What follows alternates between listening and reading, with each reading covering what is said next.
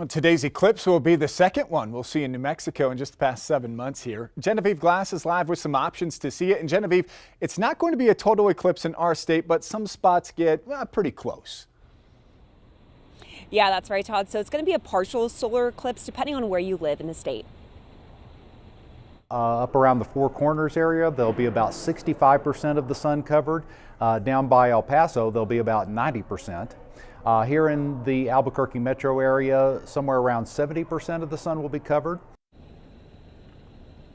Several places in Albuquerque will celebrate today. The New Mexico Museum of Natural History and Science will be showing the eclipse live. They'll also have a presentation. Now, the event is included with regular museum admission. That's from 10 to 2 p.m. And the city's main library in downtown and the Alamosa Library in southwest Albuquerque, they're going to have going to be having viewing parties as well. That's from 11 to 1 p.m. Solar glasses will be provided and there will also be trivia and snacks. A reminder that this is going to be the last eclipse that we're going to be able to see here in the U.S. for the next 20 years. So grab those glasses and get watching. I'm Genevieve Glass, KOAT Action 7 News.